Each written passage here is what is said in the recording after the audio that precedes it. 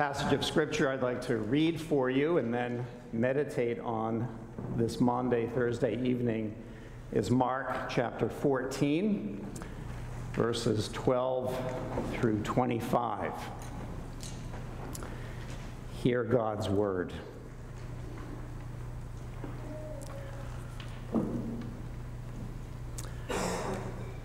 And on the first day of unleavened bread, when they sacrificed the Passover lamb, his disciples said to him, Where will you have us go and prepare for you to eat the Passover? And he sent two of his disciples and said to them, Go into the city, and a man carrying a jar of water will meet you. Follow him, and wherever he enters, say to the master of the house, the teacher says, Where is my guest room where I may eat the Passover with my disciples? And he will show you a large upper room, furnished and ready. There prepare for us. And the disciples set out and went to the city and found it just as he had told them. And they prepared the Passover. And when it was evening, he came with the twelve. And as they were reclining at table and eating, Jesus said, Truly I say to you, one of you will betray me, one who is eating with me. They began to be sorrowful and to say to him, one after another, Is it I? He said to them, It is one of the twelve, one who is dipping bread into the dish with me. For the Son of Man goes as it is written of him. But woe to that man by whom the Son of Man is betrayed. It would have been better for that man if he had not been born. And as they were eating, he took bread and after blessing it, broke it and gave it to them and said, Take, this is my body and he took a cup, and when he had given thanks, he gave it to them, and they all drank of it. And he said to them, This is my blood of the covenant, which is poured out for many. Truly, I say to you, I will not drink again of the fruit of the vine until that day when I drink it new in the kingdom of God. This is the Word of God. Let's pray together. Lord, what a blessing it is that you have spoken to us. We pray that you'd help us by the Holy Spirit to take in the truth of your word and to be brought closer to Jesus by that hearing. So we pray it in his name. Amen. Well, there's three wonderful truths I'd like us to consider as we look at this passage and gather around the Lord's table this evening. The first is the lordship of Jesus. Why the detail in this narrative, do you think, about where the Passover would be eaten and the preparation for that meal. There is a strangeness to this story. Jesus sends two of his followers into the city and tells them, A man carrying a jar of water will meet you. When they see the man, they follow him to his house, and as he enters, they present themselves with what is a pretty outrageous demand. Imagine if you got home from carrying some water and someone approached you and said, Where will the teacher eat the Passover meal? It's interesting to see commentators on this passage struggle with trying to figure out what's going on here. Some say that it must be that Jesus had prearranged this Obviously, it would be just too weird to hear such a demand from a stranger. Well, if that's the the case, though, what about the timing? Go into the city and you will find a man carrying water. Now, I imagine that carrying water is something that only happened, I don't know, for maybe 10 minutes or 15 minutes or so. You would need, wouldn't you, a cell phone, a couple of them, to coordinate this if it was all prearranged. Well, there's another answer to this. And I agree with those who say this is making the point of Jesus' sovereignty over all things. He has what the great Dutch preacher and theologian and a hero of World War II, Klaas Schilder, called the sovereign rights of requisition.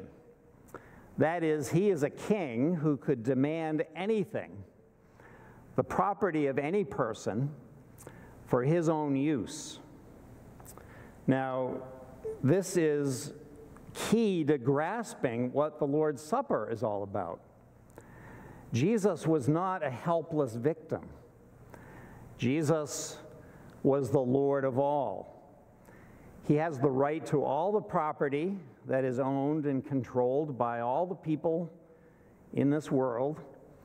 He has the right to demand that every person who lives follow him as their Lord and God. A monumental demand. There's another thing that's striking about this. When you make such a demand upon a person that I'm considering was a stranger carrying water, why would he ever submit to that demand? And the reason for that, I believe, is that God's word is, and students at Westminster get an insight into this, self authenticating. When God gives the word, there is no higher authority than that word itself. And that word was delivered to the man gathering water. And it carried its own authority with it. And lo and behold, he submitted. And there the Passover was eaten. And this tells us that Jesus had no needs. He was the self sufficient Son of God. He didn't need our worship or our praise. The reason he was giving himself up is out of sheer love. No other reason. Now, you and I are meant, are created to replicate in some way this attribute of God of love. I mean, take, take your pastors for an example. We are charged to tend the flock of God willingly, doing it because we love to do it. And yet, it's true, we're paid to do it. And there's an element at which sometimes you do things because it's your job and you're paid to show up. Sometimes you're not feeling all that pastoral and all that loving, it's just a reality. We're called to love the people of God, and there is a sense in which God makes us new and makes us love his people. But even in loving the people of God, you have to admit at times that you love them and they love you back, and that makes you feel good. You get something out of it. I'm making the point that you and I, we are not self sufficient the way Jesus was and is to this day. The glorious thing about it, about his lordship, is he loved us without getting anything in return. His love is giving from start to finish. And that means you can rely on it. It has no limits. Now, the second thing, Jesus and his closeness to his disciples, taking them into his confidence about the betrayal. He was deeply troubled. This was the time when he steadily descends into hell. That is the abandonment by God due to the curse of sin. And as the Gospels describe, especially Holy Week, it's best to see it as a progressively unfolding story of steady descent by degree after degree into hell itself. One of the most painful aspects of Jesus' suffering in his soul, in a sense, what kicks it off, is for one of the twelve to betray him. It's bad enough to have faceless writers bashing you on social media, for example. People these days can get very upset when these kinds of fights break out between anonymous writers and opinion makers on social media. But what if someone you had invested your life in, someone that you had enjoyed sweet fellowship with, someone who you felt was near your heart, what if that person turns on you in the cruelest way to give you up to arrest and torture? What if one of your closest companions did that to you? Jesus is reflecting to his disciples and taking them in to this scene of trouble in his life because this is what God, the Lord, does he reveals himself to us. He takes us in to his own life. Jesus does this. And with these words, he takes them into even what you could call the mind of God. One of you will betray me, one who is eating with me. We read that they were troubled by this and began to question themselves. I think this might be the high point for the disciples in the record of their life with Jesus, at least before his resurrection and their carrying on the work of the church. I think this is a high point for the disciples that they each look at themselves and say, Is it me? They were all doubting themselves and willing to have the truth about themselves revealed.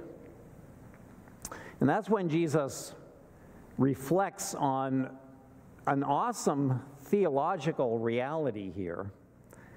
The Son of Man goes as it is written of him. All the scriptures have their focus on the death of the Son of God on behalf of sinners to make atonement. This is predetermined. This is something in the decrees, the foreknowledge, the plan of God. The Son of Man goes as it is written of him. But yet there is human agency here in making this happen, and there's human responsibility. But woe to that man by whom the Son of Man is betrayed. This one who must have caused great soul trouble to Jesus he reflects on with the terrible reality of his state as someone who's reprobate, who is going to be punished and held to account for this crime of the ages, betraying the Son of Man with a kiss. So we remember Jesus as the Lord who opens his heart to us we thirst, we hunger to know God. This is what we were made for eternity. God has put eternity in the hearts of men, Ecclesiastes says. We hunger and thirst for the knowledge of God, and this is what he imparts to us. This is a picture of Jesus taking his disciples into close communion with him. This is life itself. This is what had been lost in the fall. And this is what Jesus restores to us communion with the living God. And then finally, his grace.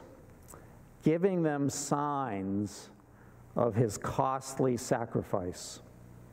The final point is Jesus giving the disciples and all those who will believe on him through their ministry that continues down through the ages because of their written attestation of what they had seen and heard. He gave them, in place of the Passover, something brand new for the Christian church the Lord's Supper. Broken bread and poured wine are signs of the new covenant. The new covenant is the reissuing of God's solemn promise to give himself to us as God and to take us to himself as his people. The covenant binds us together in a relationship with love. The closest analogy to it is the love of a husband for his wife. The union of two people in a one flesh relationship is modeled on the covenant of grace of Christ's love for his church. There is good news about this sacrament. The value of it does not depend on the elements as there was something as if there was something magical in themselves or any virtue in him who administers them. No, it's not as though the ministers of the gospel are guru like in their quality to dispense blessing. No, it's not that at all. It comes from the blessing of Christ and the working of his Spirit in those who by faith receive the supper. That's good news. It doesn't depend on the elements, doesn't depend on those who serve them. It depends on Christ who loves to bless his people and who administers the Spirit to them. Now, you may think that the promise that this passage ends with is for the far off future. I will not again drink of the fruit of the vine until that day when I drink it new with you in the kingdom of God. It wouldn't be entirely inappropriate to think that there's a reference to the new heavens and the new earth and the final marriage supper of the Lamb. But there's another way to take it, and that is that when Jesus rises from the dead, the newness of the kingdom will break into the world.